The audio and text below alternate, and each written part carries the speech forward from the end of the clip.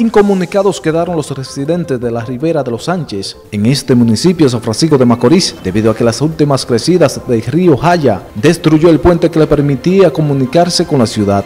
Bueno, la queja de nosotros es que con la tormenta que hubo, la tormenta María, lamentablemente el, puente fue derrumbado y las autoridades no han hecho nada sobre esta comunidad. Cada vez que el río baja con agua, tenemos un puentecito de madera y lamentablemente no lo tumba y estamos incomunicados.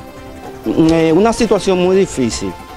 Eh, tenemos niños en edad de escuela, personas ancianos que a veces se enferman. Eh, río, cada vez que llueve, ya tú sabes, coge, se desborda.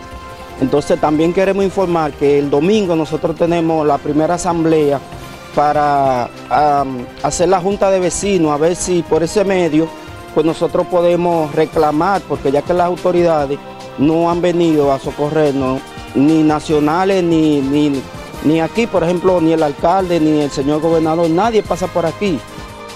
Por esta parte que tienen que pasar los moradores de esta comunidad, ya que han perdido el puente a causa de las lluvias caídas en la región por las tormentas Irma y María.